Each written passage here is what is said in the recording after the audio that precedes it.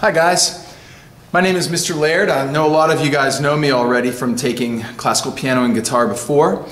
This is a introductory video for classical piano and guitar. I'm sorry that I can't be at our first class meeting on uh, of the term. I'm away at a conference this weekend and um, have to be there for various things that I'm doing. So I wanted to take a moment today through video and just outline the course. If you've taken this course before, you really know most of this stuff, uh, all of this stuff, really. But what I do the first day is really outline how the class works for anybody that's new in the class. So if you're an experienced member of the class and want to use this time to uh, practice and work on your instrument, you are perfectly welcome to do that. Um, you could also take this time to do the first theory of the term and that would get you one step ahead on your theories. If you're new to the class, I want you to uh, watch the video. This will walk you through our, our really how the class works and, and get you up and ready so that you don't have to take time with me um, when you come to class on the next class meeting. Uh, so again, sorry I have to do this through video, but it's better than nothing today and it'll get you all the information you would have if I were in the class itself. The first thing I want you to do is I want you to open up Moodle. Uh, I have populated the Moodle course with everybody that's enrolled in the class as of uh, today, which is a couple of days before the class starts. So you should be able to open up your Moodle page and under My Courses find Piano Guitar. Um, if you're not already enrolled in Piano and Guitar, you want to go ahead and self-enroll. There's no key. You can just go find it in the Moodle courses and hit enroll and you ought to be good to go. So if you haven't done that yet, uh, go ahead and hit pause on the video and get your Moodle class opened. Now, I'm going to assume that you've got Moodle opened. Close to the top of the page, you'll see our course expectations document. Um, and I'd like you to go ahead and open the course expectations document. We'll give you a minute to do that. Go ahead and hit pause if you need to. Okay, and now that course expectations is open, I'm going to begin by telling you about the class, going right down through the course expectations. And then from there, we're going to go back to that Moodle page and I'll walk you through that as well.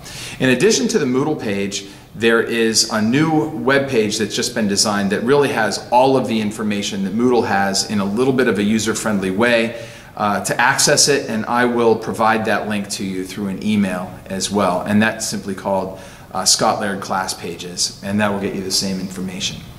But let's walk through this course syllabus. Um, first of all, uh, uh, I always begin this class by saying this. If you are a beginning musician, you've never taken piano or guitar before, and you simply want to learn how to play that instrument, you're in the right class. Um, if you're an advanced piano or guitar player, you've been playing for 10 or 12 years and you play in competitions and have private lessons and um, are quite advanced at your instrument, you too are in the right class.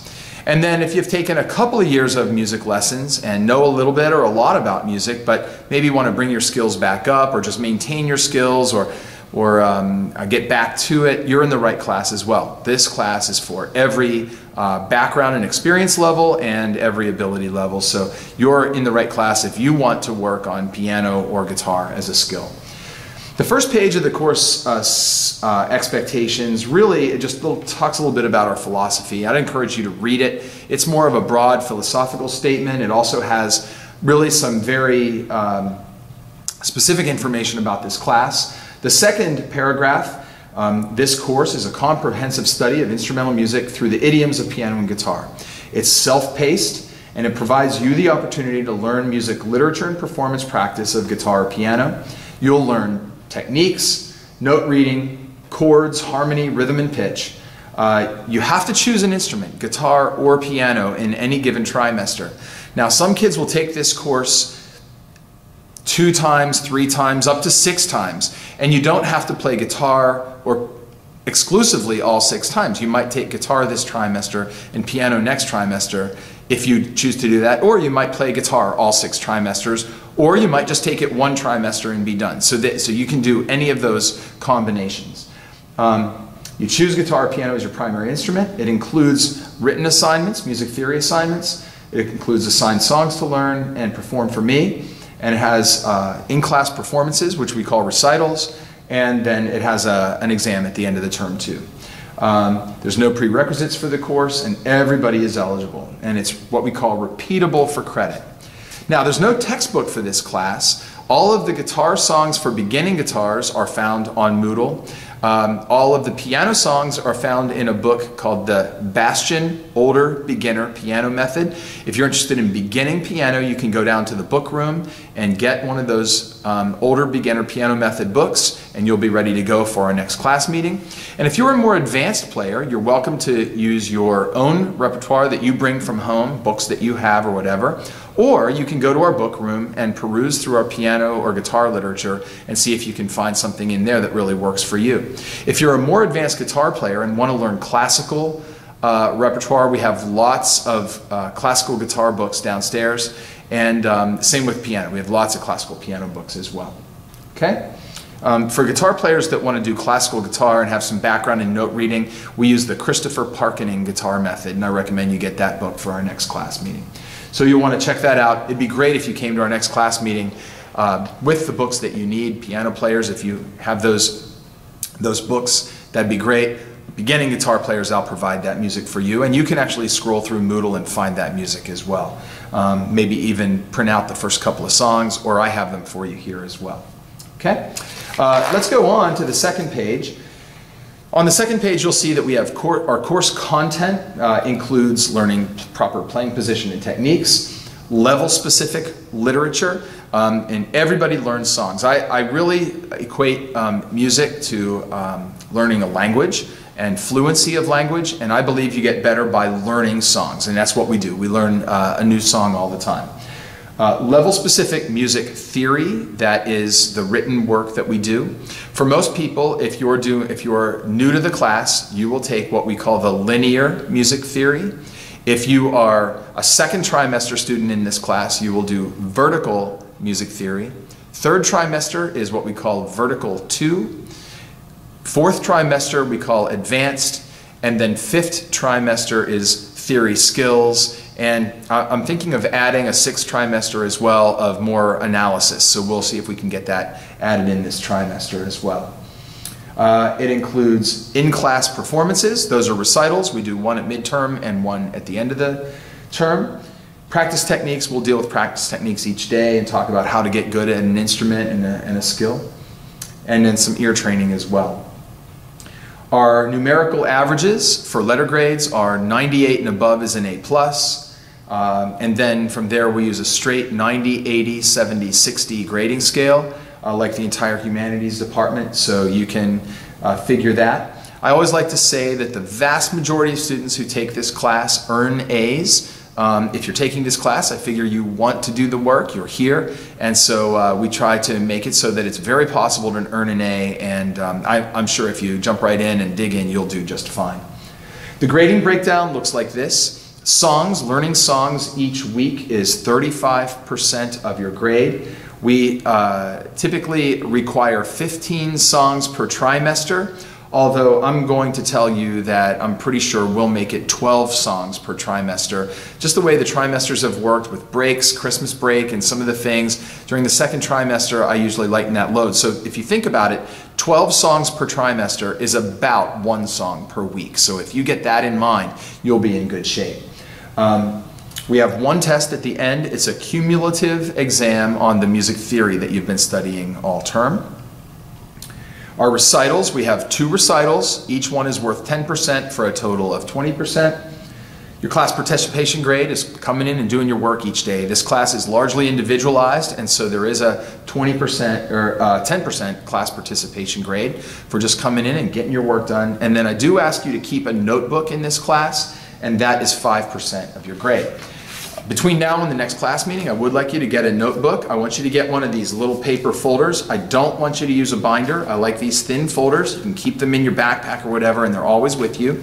Um, I will hand out a packet of documents that you will need for the class um, beginning uh, on the next class period. Um, it'll have this small packet of pages that go in the three-hole center area that will be connected to the book. And I really like to get uh, you to get these folders that have the three-hole punch center area and the flaps on the left and the right. And that will be just the perfect folder to use for this class. You're going to keep your music theory assignments in one of the folders. Uh, you'll keep any of your songs that you have in the other side of the folder, and you'll keep um, this packet of documents that I will give you in the center part where the three-hole punch is. So please go ahead and get that for our next class period. It's really important that you get that right away. Okay? Uh, so there's a, a, notebook grade that is 5% of your grade. Okay? Um, continuing through um, the, uh, um, the course documents, I will mention that I will give written grade reports right before midterm and again right before the end of the term so that you know exactly what your grades are. I, I keep grades in something called gradebook, but you'll also know what your grades are looking like based on the number of song credits that you have and um, that type of thing. Um, in this class, I believe strongly in using uh, YouTube and the internet as a big part of what we do. I have placed all of my lessons for beginning guitar and beginning piano instruction on YouTube, just like I have this video um, uh, set up so that you can um, always access my lessons and the content that I want to deliver for you. So in any given day, if, in fact today, if you wanted to, you could click on the beginning guitar assignment, or the, excuse me, the, the uh, introduction to guitar or the introduction to piano, and really begin your work on guitar or piano uh, today already, even though I'm not in class. And anytime um, you're ready to move on to the next song in the curriculum, you can just click on the next thing. If you're an advanced player, I strongly encourage you to use YouTube to see performances of the works that you are working on uh, in your book. Virtually all music that we are learning in this class is available on YouTube, and it's available with very good performances by professionals and sometimes very bad performances by amateurs. And so uh, one thing to do is be very discerning about what you find on YouTube, but use it as a resource. It's incredible. Also, all of my music theory lectures and explanations are on YouTube. So you can find them all through Moodle or through my class page. They're all right there, and you can um, access my content delivery at any time, 24 7, and get your work done whether you're here in class physically or not. It's a great thing about this class is that when you come to class, it's fairly individualized. I encourage you to bring your computer to class every day. You can sit at a piano or at your guitar, access my lessons. Maybe today you don't feel like playing guitar, you want to do your music theory. That's perfectly fine with me. As long as you're working on stuff for this class during class, I'm happy to have you doing that. And you can always access my music theory lectures or my uh, information on the songs that I give you that you're learning. So, uh, very much committed to using YouTube and web resources as a resource in here. We sometimes call that a blended curriculum. The whole idea of that is that you can always get my information. Well, what do I do during class? Well, I'll walk from person to person to person and I'll hear what you have prepared at that point for me and I'll give you a credit or a grade for it. So during a class period, I might hear 8, 10, 12 different people hear you play a song from me, give you credit, and mentor you. Maybe give you some ideas of how you can make it better. Uh, maybe it won't pass off, and I'll say, well, this is wrong, and you can make it better by doing this, and then I'll give you some time to do it, and then I'll come back and hear you again. So that's really the way it works. All built on maximum efficiency of time. We want you to use your time very, very, very wisely in here. Okay? Now, uh, a couple of things to say about that when you get something uh, evaluated, when I come to hear you play, um, in music we're different than some places, in some classes. Like if you take a quiz in math and you miss 3 out of 10, you're stuck with a 70% grade. In music we don't work that way. If something isn't quite ready or not quite ready to move on yet, I'll give you the information that you need to move on, have you perfect it, have you master it, and check it off at that point. So you'll never get like a, a low grade on a song, on passing a song off. Uh, you might not pass it off, and I'll give you what you need to pass it off, and then you'll move on when it's, when it's ready. So um, the goal for each song is mastery, and, and if you don't achieve it in the first pass when you play it for me, no big deal, you'll do it the next time, okay? Um, so that's what we're doing with songs. Now, interestingly, on our music theory, our written work, um, I do the same thing. Let's say you turn in a music theory assignment uh, and um, you get uh, 20 out of 30 on the assignment, not a very good grade. The beauty of this class is if you get 20 out of 30, you can correct your mistakes, turn them back into me for 100% credit. So in other words, I'm looking for you to master the material. I'm not really worried if you have to do it twice to get there. Um, because each music theory lesson builds on the previous one. So if you don't understand lesson two, you're probably going to have trouble with three. And if you don't understand three, you're going to have trouble with four. So we want you to get these lessons mastered before you move on. Um, another couple of things about music theory. Um, we'll have a music theory um, assignment each week. They're assigned on Monday and they're due on Thursday. Okay, we have three class periods a week, so Monday, Tuesday, and then due on Thursday. If Thursday rolls around and you've had an incredibly busy week in your other classes and you cannot turn it in on Thursday, all you have to do is say, hey, Mr. Laird, can I turn my theory in on Monday? And I will say, sure, no problem. Okay? So that Thursday deadline is a loose deadline each week.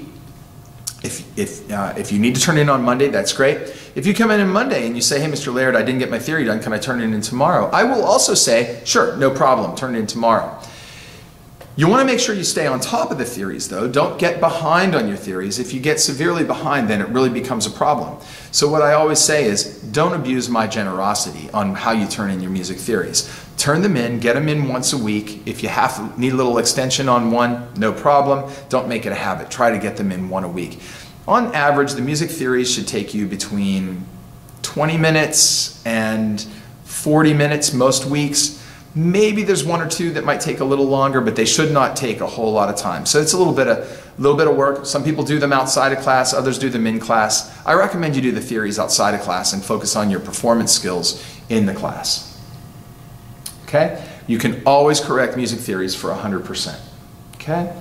We have recitals twice a term. The grading for the recitals is uh, your grade graded on your participation in recitals, your stage presence, how you present yourself in the recital, and, and certainly your accuracy. So you need to make good song choices when you're choosing what you play for recitals. Choose songs that you can play very well, even under a pressure situation when you're playing for your peers. Recitals are lots of fun. I know you'll enjoy doing them. It's really a place where we can share what we've learned in the class with each other. I mentioned already the folder. You understand what to do for that. I would really love it if everyone had a folder on your next class meeting.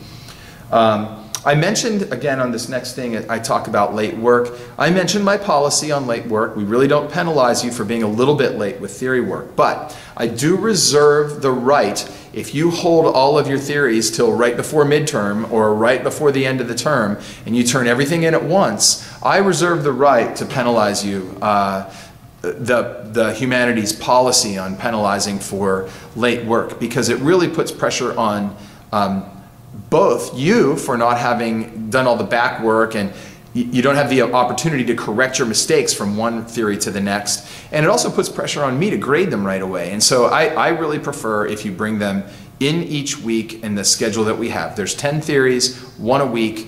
You can do that. Okay? Let's go to the next page. Just a note on care of instruments. If you ever notice that one of the instruments you're playing is um, in need of repair, please let me know. Uh, or maybe you'll damage one of the instruments. Please let me know. Don't just walk away from it. Um, you're the eyes and ears of, of our instruments, and I don't have my hands on them every day. You do. And if you notice that something needs some, some work, don't hesitate to tell me that it needs some work, and we'll be in good shape. Following that, you see the outline of how, what we do on our music theories, and um, you can review that certainly. Okay? Now, I'd like you to go back to the Moodle page, and I'd like you to maybe um, pull this video screen up into the corner perhaps, and um, uh, take a look at Moodle. And I just want you to see how I have the, the page outlined. You will notice that at the top I have uh, a, a whole bunch of course documents. Those documents will be given to you in a stapled packet with a three-hole punch uh, uh, punched out of the side. Those will go in the center of your um, uh, folder when you get it. Um, I'll provide that for you. You don't have to print those out, but those are the course documents that we use. Um, the first document in that is the song credit sheet, and that really is just the the, uh, the place where I will write down your song credits as you get them. You'll notice here, if I hold this up, that um, there's a place for us to write the name of the song, and I sign it, and that essentially means that song is checked off, and we go right down through, and then we can put as many songs as you get checked off. That will be right in the front of that packet. And then you can flip through the rest of that packet. Um, it has the guitar assignments, the songs that the guitars are assigned in order, the, um, and that's beginning and intermediate. It has the piano assignments in order, and then it goes into lots of the music theory worksheets that you'll use. And those are all, excuse me, they're not worksheets, they're um, uh, sort of like tools that you'll use. Things like a diagram of a piano keyboard and a diagram of a musical staff and a diagram of the sharps and flats on the staff. Um, another diagram of the keyboard and then what we call the circle of fifths, which you'll use as you come in here. And then it has a printed out copy of your course expectations as well. That will be in your folder every day, so you just have that and you're ready to go on it. After those course documents, you'll see that we have the guitar assignments. Now, each of those guitar assignments has a video where I explain the assignment and then um, a PDF where you can print out that particular song. All of the guitar songs are available in the file cabinet in room 177 um, in the top drawer of the file cabinet and you can go in there and pull that guitar music out some people like to take all of it on the very first day and just get all of their guitar assignments for the whole trimester. Others like to get the first two or three and then start adding to it afterwards, but you're always welcome to go into that file cabinet and get those guitar assignments. Or you can print them out on your own. If you happen to be home for the weekend and want to uh, do the next guitar song, print it out, you're good to go, watch the video, and take off with that. So very easy to do. After all the guitar assignments, we have all the piano assignments.